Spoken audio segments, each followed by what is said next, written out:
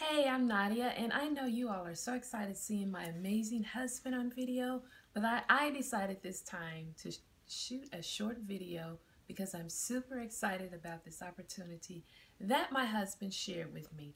Let me tell you, I circulated about $160 about four and a half, five weeks ago, and from that $160, I made $1,064.50. Now you know I'm super excited about that. But let me tell you, if you want to know more how I more about that and know exactly how I did that, please go to my website www.ladybreakthrough.com.